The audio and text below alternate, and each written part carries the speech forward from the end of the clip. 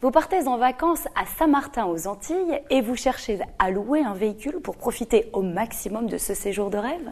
Alors rendez-vous vite sur locationvoiture.com pour trouver un véhicule au meilleur prix et disponible directement à votre arrivée à l'aéroport.